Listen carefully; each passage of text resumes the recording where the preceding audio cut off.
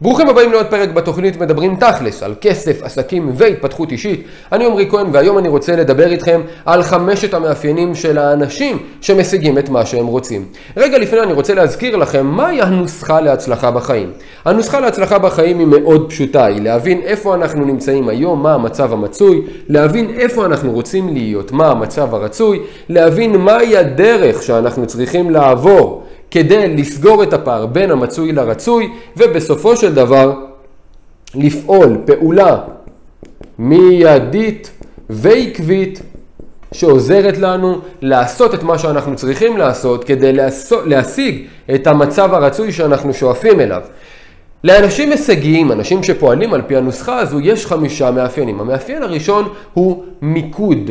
אנשים שהם הישגיים ממוקדים בדבר האחד שהם רוצים להשיג כרגע. בניגוד להמון אנשים שמציבים לעצמם מספר יעדים במקביל, אני מאמין בגישת היעד האחד. זאת אומרת, בסופו של דבר אני מאמין שאני צריך להסתכל על יעד אחד בכל רגע נתון, להקדיש את כל המשאבים שלי להשגת היעד הזה, ורק לאחר מכן לעבור ליעד הבא.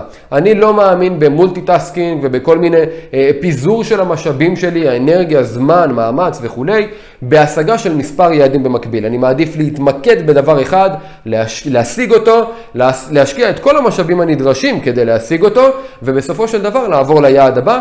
גם יוצא מניסיון אישי שאני משיג את היעד הרבה יותר מהר ממה שאנשים אחרים היו משיגים אותו כשהם רודפים אחרי יעד עם אותה התוכנית, אבל כשהם צריכים לחלק את המשאבים שלהם עם יעדים אחרים. הדבר השני, אם זה היה המרכיב הראשון, אז המרכיב השני שאנשים הישגיים נכנו בו הוא התלהבות. לא רק שאנשים הישגיים יודעים מה הם רוצים להשיג, אלא שהם גם מאוד מתלהבים מזה. הם יודעים בדיוק מהן כל הסיבות לכך שהם רוצים להשיג את מה שהם רוצים, והסיבות האלו מדליקות אותן. זה חשוב מאוד מכיוון שהסיבות האלו הן המוטיבציה שלהם להמשיך ולפעול בדרך כדי להשיג את מה שהם רוצים. לא משנה מה אתם רוצים, אם אין לכם סיבות מספיק חזקות להשיג את זה, אתם לא תתמידו בדרך, אתם לא תצליחו לעשות את מה שאתם צריכים לעשות כדי להשיג את מה שאתם רוצים, כי כמו כל דבר בחיים יהיו שם אתגרים, וברגע שאין לכם סיבות מספיק חזקות, האתגרים האלו ישברו אתכם ויגרמו לכם להפסיק לנסות. המרכיב השלישי שניחנו בו אנשים הישגיים הוא נחישות. אנשים הישגיים מאוד נחושים, הם מסתכלים איפה הם היום, איפה הם רוצים להיות, והם יודעים ששום דבר לא יעצור אותם בדרך אל היעד. ברור להם שיהיו מכשולים בדרך, אבל לא משנה איזה מכשול יהיה, הם מוכנים להתגבר עליו. כי שום דבר לא יעצור אותם מלהגיע מאיפה שהם היום לאיפה שהם רוצים להיות. המרכיב הרביעי הוא התמדה. אנשים הישגיים יודעים לפעול באופן מיידי ועקבי. אנשים הישגיים פועלים בהתמדה לעבר היעדים שלהם. הם יודעים מה התוכנית והם עושים את מה שהם צריכים לעשות, גם אם בא להם וגם אם לא. משמעת עצמית היא בעצם סוג של התמדה, היא בעצם הפועל היוצא של ההתמדה, ולכן אנשים הישגיים הם אנשים בעלי משמעת עצמית גבוהה מאוד, ויש להם כוח התמדה מאוד גדול, שעוזר להם להמשיך ולעשות את מה שהם צריכים לעשות, בעיקר כשלא בא להם.